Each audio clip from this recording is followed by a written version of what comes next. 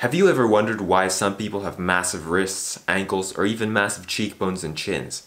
Well, you're probably thinking that it's all down to the person's genetics, and many times that is actually not the case. And in this video, I'm going to explain to you why that is and how you can make your bones thicker and larger in any area of your body. Now first, it is very important to understand what micro tears are. Micro tears are what happen to, for example, muscles from putting them under stress by, for example, lifting weights at a gym.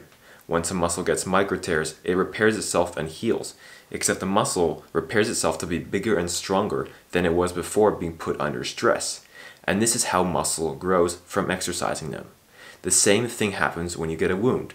Micro tears happen to the skin, then the wounded skin repairs itself to be thicker and stronger than it was before being wounded. Now the exact same principle applies to bones and it is no different.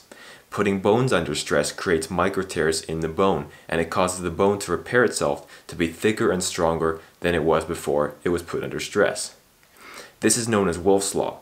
The bone in a person will adapt to the stress under which it is placed so that it is able to handle the stress it is being placed under. And the opposite applies as well.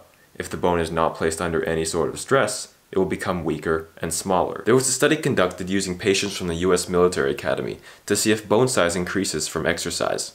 And the results were that the group of people who did the most exercise had a 5.8% higher cortical thickness than the group of people who did the least exercise.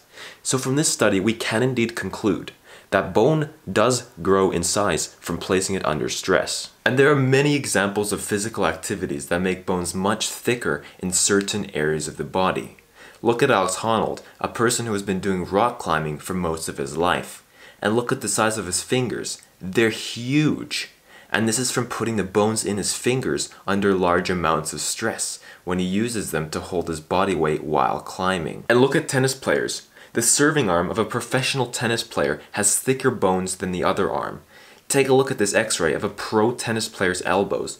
Notice how much larger the humerus bone in the right arm is compared to the left one.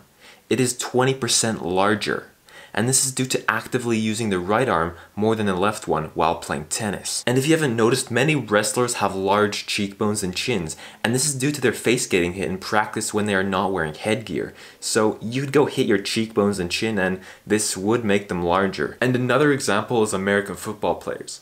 You might have noticed that many American football players such as Tom Brady have large brow bridges and this is actually due to that area being hit a lot and put under stress. And weightlifters as well. Many weightlifters have large joints all over their body.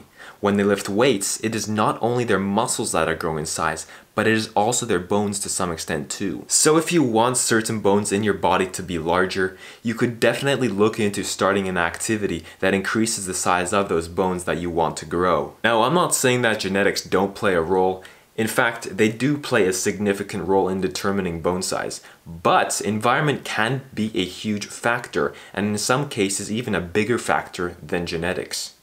So if you did find this video informative, please do leave a thumbs up and subscribe. And as always, I'll see you guys next time.